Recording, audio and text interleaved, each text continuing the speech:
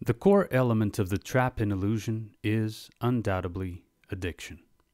The first addiction is already programmed even before birth, that is, survival. The maintenance of the body in the apparently coherent form of its body parts is one thing, but another is the maintenance of the mind in the apparent cohesive and concrete identity of the I or ego. You may argue this view, of course, and state that survival, be it bodily or mental, are not addictions, but merely devices to ensure that we are able to cope with the dangers of the nature we are submerged in. That is true as well. However, I see survival as an addiction because it is going to identify not only body and mind threats, but also secondary ones. I am not talking about the identification of the threat and instinctive action of stepping away from the path of the oncoming truck, but about the defense mechanism that will identify threats to its current set of compositions, as are ideas, ideals, concepts, and worldviews, and that will twist and turn any perceived threat to protect itself from damage, that is, from its own partial death. To the ego, losing a worldview is like losing a limb, because it is an emotional, animal like construct that will exaggerate everything, be it pleasant or unpleasant, it comes in touch with. This is because the ego is a product of fear, pre programmed fear, yes, but also one gained through indoctrination and experience. So, this defender of the construct, a mental entity generated to ensure the maintenance of the current form of the ego, is an addict. It is the primary addict of the mind, addicted to keeping things as they are. So much an addict that it will even defend the ego construct at the expense of the body's survival and health. This sustained mental state or form is then more important to it than its prolonged continuation. If it is at the expense of that form's change into anything else, this is an addiction. There is a higher reason for that addiction, as everything here tries to be an inadvertent and inadequate copy of truth, so I will come back later to this particular addiction, as first I have to put them into context. In truth, however that is, imperceptible and ineffable to our physical and mental senses as it is, there is an undoubted, irrefutable sense of belonging and placement. Our true selves, so to speak, know in truth where they fit. What they are is what they do.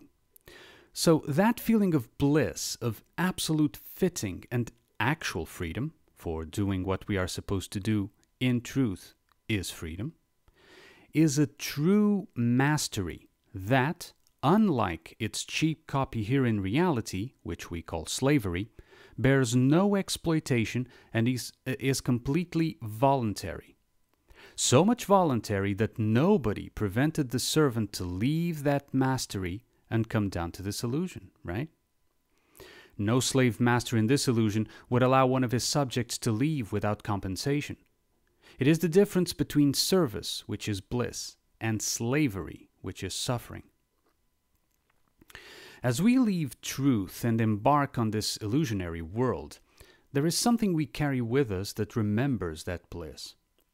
Is that not what Mephistopheles tries to tell Faustus that summoned him in that excellent classical English play?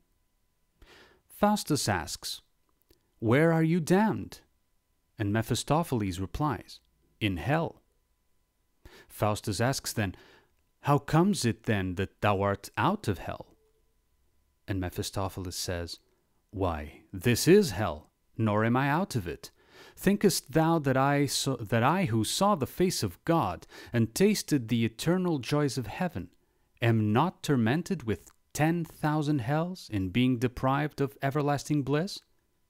Faustus, leave these frivolous demands which strike a terror to my fainting soul. So Mephistopheles tries to, to explain to Faustus that his earth, earthly desires, or that is, addictions to temptations, are what causes the fall to hell.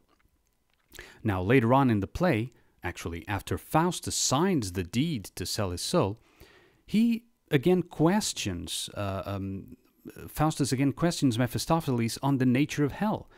This time, he goes more in depth.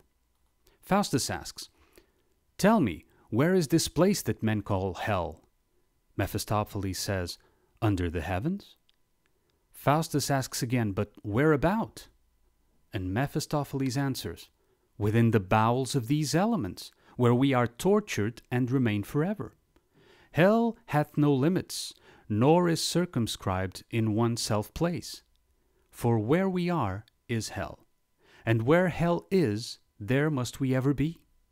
And to conclude, when all the world dissolves, and every creature shall be purified, all places shall be hell that are not heaven.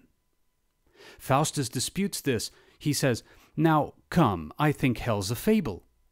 And Mephistopheles tells, tells him, Think so still, till experience change your mind. Why thinkest thou then that Faustus shall be damned? Faustus asks. Of necessity, Mephistopheles says, for here's the scroll wherein thou hast given thy soul to Lucifer. And body too, Faustus shrugs it off. But what of that? Thinkest thou that Faustus is so fond as to imagine that after life there is pain? Tush, these are mere trifles and old wives' tales.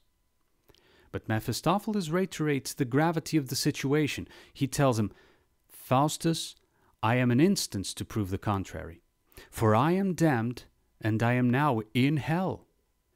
But Faustus, so enamored with his already festering addictions, affirms, How now, in hell? Nay, and this be hell, I'll be willingly damned here. What a lesson contained in this play by Christopher Marlowe or whoever it is that wrote it. In any case, the memory of that bliss and of the pure, unforceful, undisputed mastery to which we were at service comes with us, despite buried deep, when we enter this illusionary creation. That memory comes to us and we taint it with our mental concepts, calling depression to the sadness that emerges from remembering its lack without being able to completely recall its absolute placement. As we feel that sadness, usually associated with the destruction of something our ego concept held dear in the worldly affairs, we have two choices.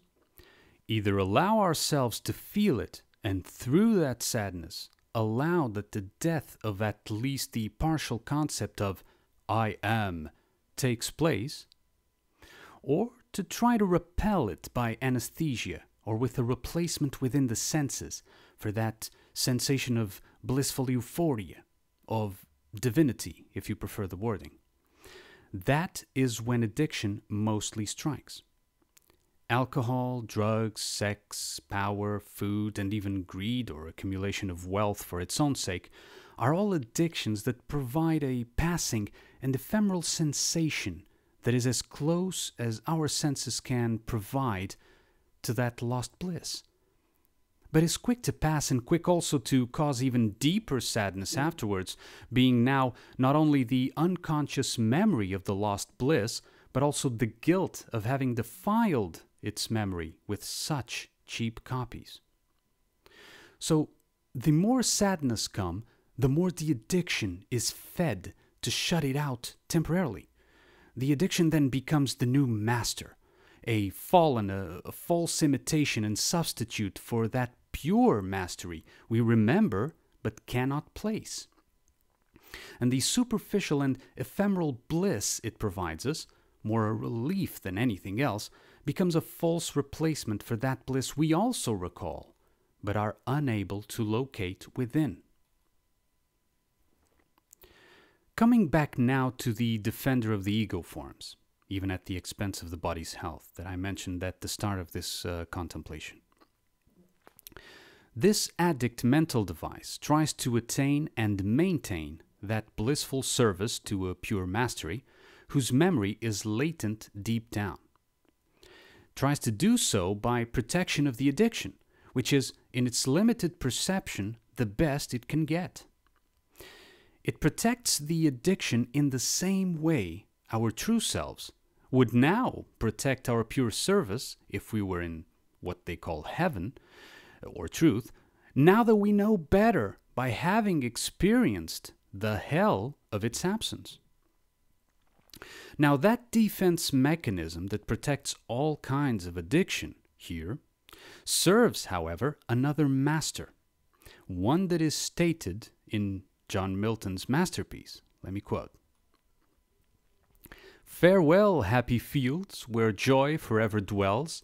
Hail, horrors, hail, infernal world, and thou profoundest hell. Receive thy new possessor, one who brings a mind not to be changed by place or time. The mind is its own place, and in itself can make a heaven of hell, a hell of heaven. What matter where, if I be still the same? And what I should be, all but less than he, whom thunder hath made greater? Here at least we shall be free, that Almighty hath not built. Here for his envy will not drive us hence. Here we may reign secure, and in my choice to reign is worthy ambition, though in hell. Better to reign in hell than serve in heaven. Truth will serve us as we serve truth. It will never enslave us. It will never demand of us strict obedience, but mere retraction from falsehood and reawakening to its own irrefutable essence. So irrefutable that when you reawaken to its indirect understanding, for our senses are limited, you will immediately see illusions for what they are and lose interest in them. The addict becomes redeemed.